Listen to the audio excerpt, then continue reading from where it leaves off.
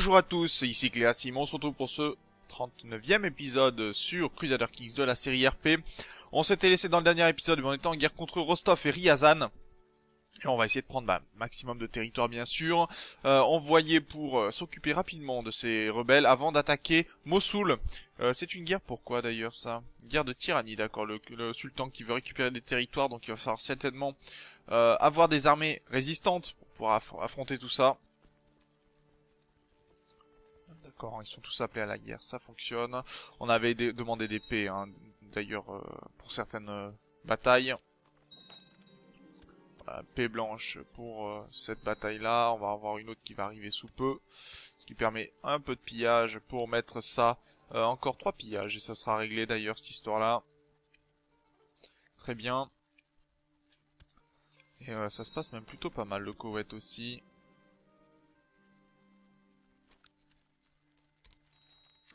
Allez, euh, encore euh, libéra... encore une. Euh...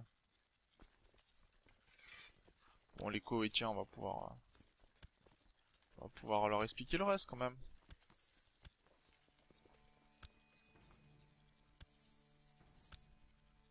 On continue un peu de pillage. Là, on a juste à détruire l'armée. Hein. Si on la détruit, c'est bon. C'est qui ça? C'est mon intendant et c'est un clan. Non, bah non. Les clans, ça m'intéresse pas en fait. Euh, lui, on va juste le laisser pourrir pour l'instant. Ça fait un moment d'ailleurs. Euh... Ah, toute l'Islande est maintenant devenue une colonie de l'Empire aztèque. Les Vikings qui naviguaient vers le Vinland ont croisé des indigènes qui les ont prévenus qu'un puissant empire arrivait par le sud. Mais ces avertissements ont été pris à la légère. Les nobles aztèques, tombés en disgrâce, peuvent désormais être nommés gouverneurs de cette île froide et stérile. Si seulement quelqu'un les avait écoutés. Donc voilà, ils commencent à avoir leur premier territoire. Donc ils ont le duché de Séville, ils ont le duché de Grenade. Oh, ça, ça mérite d'être vu. Euh, donc voilà, les Aztèques ont le sud de l'Espagne. Et euh, ils ont aussi la Norvège. Donc il va falloir euh, certainement bah, se battre. Alors pour l'instant, ils ont encore des armées euh, d'événements, hein, si je me trompe pas. Euh, oui, ils ont encore, vous voyez, 165 000 armées d'événements, donc ils vont pouvoir attaquer la Castille euh, de ce côté-ci. On va certainement avoir une djihad qui va être lancée sous peu contre euh, les Aztèques. Et on ira peut-être participer pour récupérer le territoire, parce que je rappelle qu'on a besoin de prendre euh, ce territoire-là. Euh, et puis on va certainement aller faire un petit tour aussi de ce côté-ci pas passer par devers et venir ici Ça serait plus rapide, non? Que de faire tout le tour euh, par d'autres armées. Allez, on n'a plus qu'un petit euh, 2% à prendre. Et on a euh, bientôt une paix qui est faite. Avec ce prince-là... D'accord, oui, mais bon, ce prince-là, euh, ça nous intéresse pas immédiatement. Puisque il faudrait être en paix... Enfin, ne plus être en paix avec le le Kagan. Bah voilà comment gagner rapidement une bataille ici, très bien. On va pouvoir piller des colonies encore, est-ce qu'on a encore euh, Oui, on a un bon pillage à faire. Donc session pillage, c'est parti.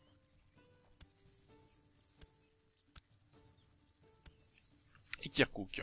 On va pouvoir attaquer cet homme-là, déclarer la guerre pour la subordination de Mossoul on appelle tous nos vassaux et on va très rapidement prendre le Kurdistan. Il faut prendre au moins un territoire, je rappelle, pour qu'ils ne puissent pas abandonner euh, la bataille. De ce côté-ci, euh... ah. plus de sièges ou plus de escorte morale de l'os, limite globale des provisions. Ça c'est très bien. L'organisation militaire, ça permettra d'avoir des armées plus importantes sur des territoires petits. Le légalisme, on s'en moque. Euh, reste, c'est tout à fait acceptable. Donc, moi, ça me va. Euh, voilà. Et Ryazan va se faire détruire son armée sous peu. Merci d'être venu, Ryazan. C'était gentil, j'avais besoin de ton territoire. Voilà, toi 100% de victoire sur le Koweït. Gagné. Très bien. Ah non, c'était pas Ryazan, c'était Vladimir, son armée, là. Euh, attends, pause, excusez-moi. Ah, encore des libérations persanes et koweïtiennes, très bien. Euh, un peu de pillage de ce côté-ci ne fera pas de mal.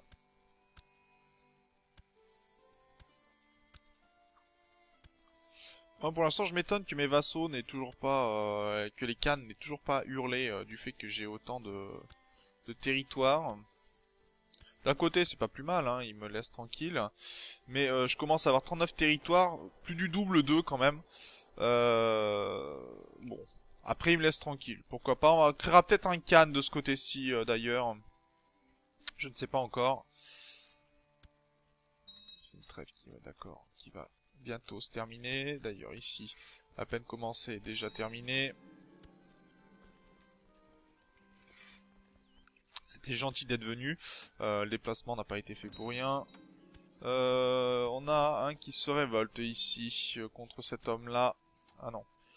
Euh, tu es où? Ici. Sauf que il nous faudrait récupérer ce territoire ici. on va refuser. Euh, capture combat, très bien. Il va falloir qu'on attaque euh, les Kabaja, puisqu'on a euh, Arnail qui fait partie de notre euh, de nos territoires et qu'il va falloir récupérer. Ça fait partie de l'Empire de Perse, hein, et euh, on doit prendre l'Empire de Perse. Pourquoi on n'a pas le score de guerre ici? Euh... Oui, prends des juments sur mon compte personnel.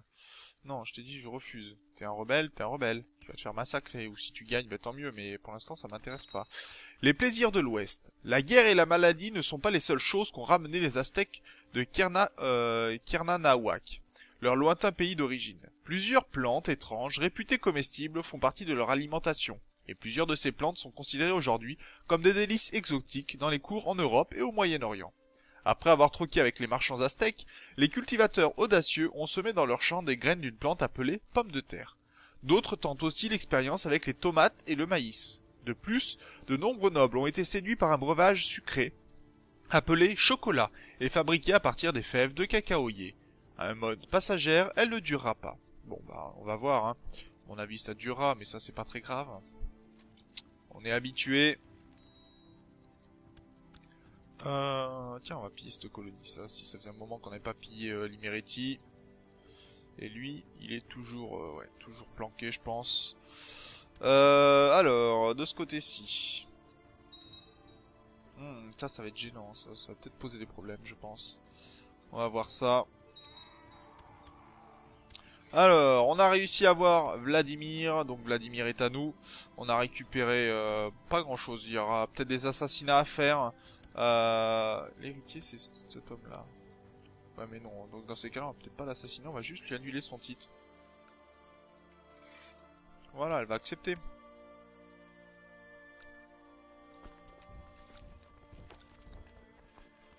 lui aussi, on va lui annuler son titre, il va accepter. Voilà, très bien. Et on va pouvoir attaquer donc euh, de ce côté-ci. Ah non, mais c'est Vladimir ça aussi, euh, zut. C'est zut, zut, ma réputation est foutue. Oh, dommage. Euh, ma réputation, pour ce qu'elle vaut, de toute façon, je crois. Euh, Tchernikov, on n'a pas attaqué Tchernikov. Euh... Est-ce qu'on peut lui déclarer la guerre? Pour une petite conquête? Oui, il serait d'accord. Il est d'accord Très bien. Moi, ça me va, et je vais amener des armées supplémentaires.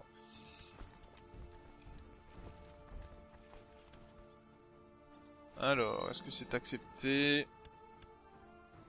D'ailleurs, j'ai fini une construction sur ma capitale.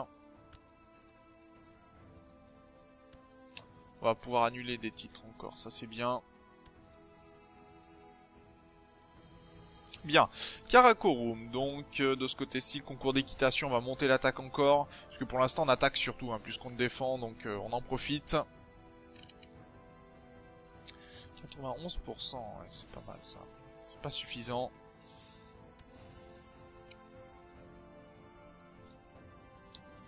Euh, tiens, j'ai un homme qui veut euh, essayer de... Euh, T'as des revendications sur quoi? Le titre de Sibi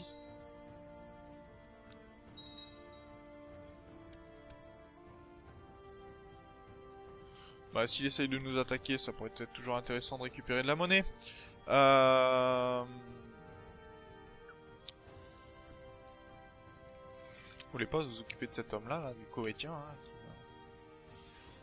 euh, D'accord, là par contre il fonce sur mes armées, je suis moyen pour.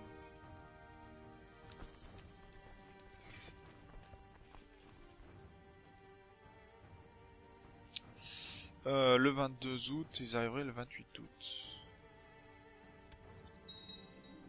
Alors lui, euh, non, bah on va le laisser pourrir, c'est un paysan quand même. Euh. Ok, on va emmener toutes nos armées, on va écraser l'armée euh, ici. Donc voyons voir cette bataille là, si elle se passe euh, à notre avantage ou pas.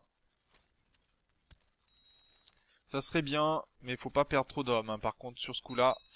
Allez, on est arrivé, 21 000 hommes, et on est en train d'écraser les armées euh, égyptiennes, puisque c'est le sultanat d'Égypte que l'on est en train de combattre, parce qu'il essaye de prendre des territoires euh, de ce côté-ci, moi ça me va.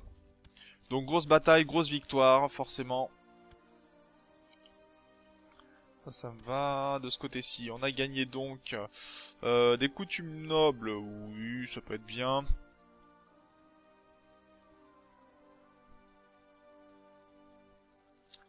Euh...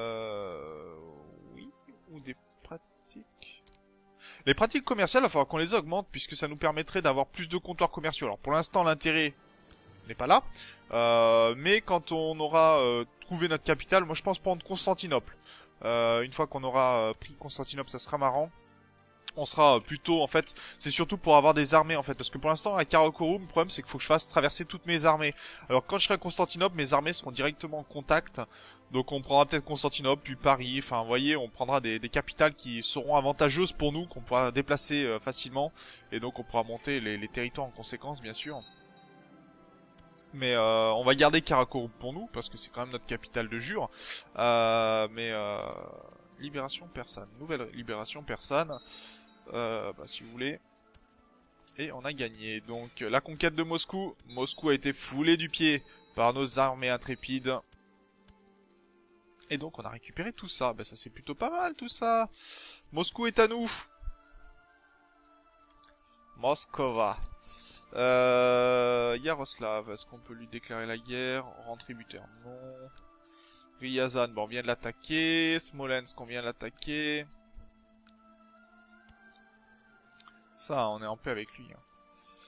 Euh, il a une guerre d'ailleurs avec une haute, euh, avec un autre apparemment. On va peut-être pouvoir s'attaquer euh, à Novgorod, déclarer la guerre. Subordination de Novgorod. Bah oui, allez. Go. C'est parti, on va aller rendre visite à Novgorod et je vais aller ramener cette armée là d'ailleurs. On va récupérer un gros duché. Donc ça se passe tranquillement du côté de Tchernikov.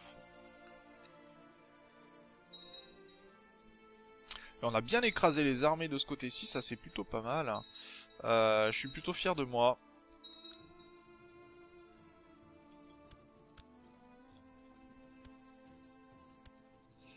Euh, les trêves, Kagan, euh, avec le Kagan de Bolgar bientôt terminé. Ça c'est bon ça aussi. C'est-à-dire qu'on va pouvoir déclarer la guerre à Bolgar. Euh, dans 42 jours. Bah, je vais laisser mon armée ici, puis on va s'attaquer à ce territoire-là tout de suite. Allez, deviens charitable mon enfant.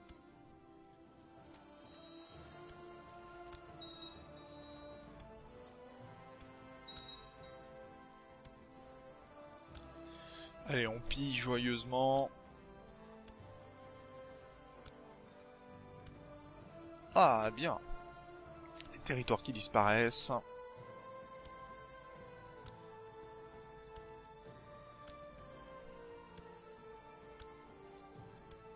Oh, bah ça, ça fait des moments hein, que Ray devait tomber. Il devait plus rien avoir dessus. Moi, c'est fait. Bien, euh, alors, par contre, cette rébellion, c'est la Perse. Bon, la Perse, euh, c'est habituel, ça tombe, ça tombe, ça tombe. Euh, de ce côté-ci, on aura bientôt pris nos premiers territoires, je pense. Enfin, j'espère, puisque pour l'instant, ce n'est pas le cas. Et tant qu'on l'a pas pris, il y a toujours une possibilité que la révolte se stoppe. Ce qui n'est pas vraiment pour mon avantage. Est-ce que je peux attraper cette armée-là? Et ici, et euh, la trêve est terminée avec cet homme-là. Déclarer la guerre. Euh, subordination de Perm de Tchérémis.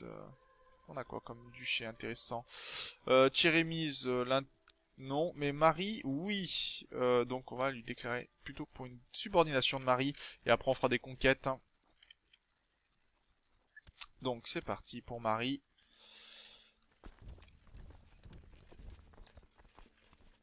Allez, on va essayer de prendre rapidement ces territoires.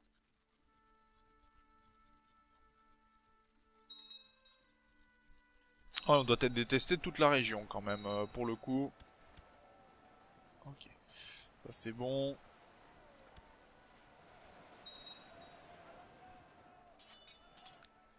Bien. Euh, je vais partager mon armée en deux, ça va de soi, pour aller les chasser.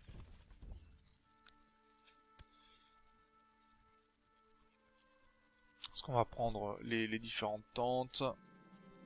Ah Perle la caractéristique aimable.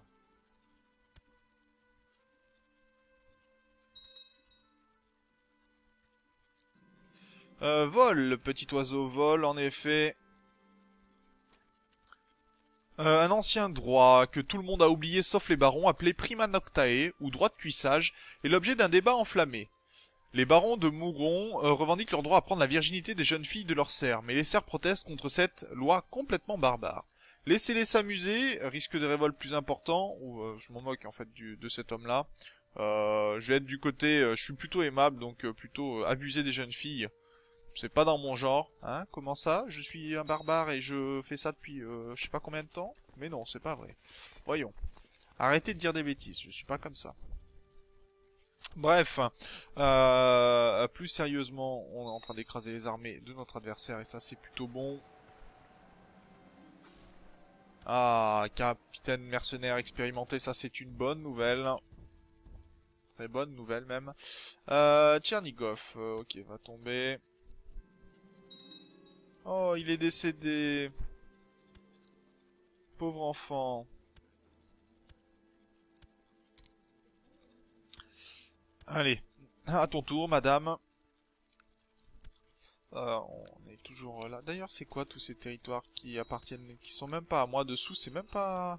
C'est tout à Kiev. Kiev a récupéré pas mal de, territoires apparemment sous ce... ça va être problématique ça.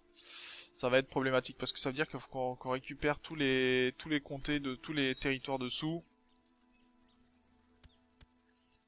Bon, on a réussi avec Bolgar, c'est fini. Donc on a récupéré ces territoires-là, très bien. Il n'y a pas de rébellion de ce côté-ci. Il y en a une toujours, mais... Euh, on va aller s'en occuper quand même. Ça fait un moment qu'elle est là, cette rébellion. Euh, donc on va envoyer des armées pour, euh, pour la calmer. Ok. Prise de territoire un peu de partout. On appuie les exigences. Très bien. Donc là on va pouvoir piller un petit peu. Et on pourra attaquer Kiev. Ça c'est très bien. Euh, de ce côté-ci, qu'est-ce qu'on aurait comme... bah, Kiev d'ailleurs, justement. Pourquoi euh, subordination de Kiev? Très bien. Et c'est parti. De ce côté-ci, voilà, il peut plus faire la paix. Euh, on a pris les territoires. Et là, ils ont bientôt fini de... Enfin, ils sont en train de perdre leurs armées, surtout, mais pourquoi pas. J'ai appelé mes vassaux euh, dans les différentes guerres là où il le faut.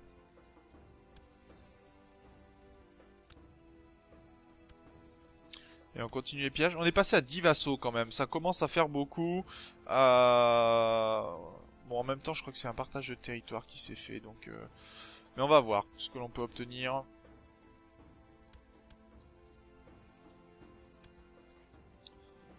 Bon, sous l'emprise de l'alcool, encore, on a été dénoncé. Ça, c'est habituel. On va peut-être pouvoir relever bientôt des nouvelles armées hein, pour... Euh...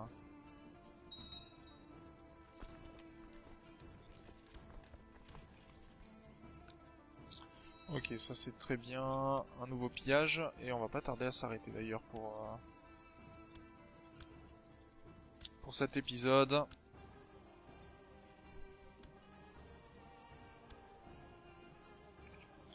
Ok. D'ailleurs... Euh... Ah, passer un, oui, un moment avec la famille, moi ça me va. Allez, on va appuyer les exigences, on arrête cette guerre-là, euh, complètement stupide. Kozistan, il a, euh, il quand même. euh, Ah d'accord, bientôt fini, c'est bien.